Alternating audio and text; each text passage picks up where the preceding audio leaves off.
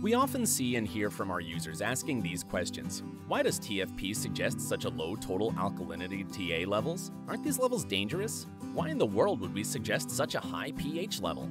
The answer and reasoning behind our levels is actually really very simple. To get there, there are two things we need you to understand.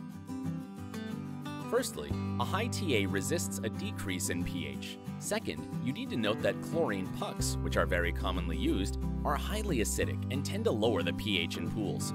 Putting these together, you'll see that the industry suggests a higher total alkalinity to help avoid crashing the pH of pools using pucks, which would cause damage.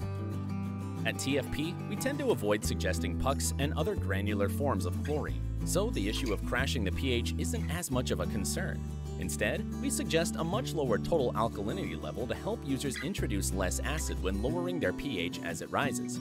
Both of our suggested forms of chlorination, saltwater generators and liquid chlorine, tend to give users an increasing pH level over time. It's very common for a user to grow frustrated by the frequent acidic additions. To combat that, a user can lower their total alkalinity, thus slowing down the pH increases. We hope this helps explain why we suggest a lower total alkalinity level than many on the outside. As always, if you have any questions, please feel free to visit us at www.troublefreepool.com.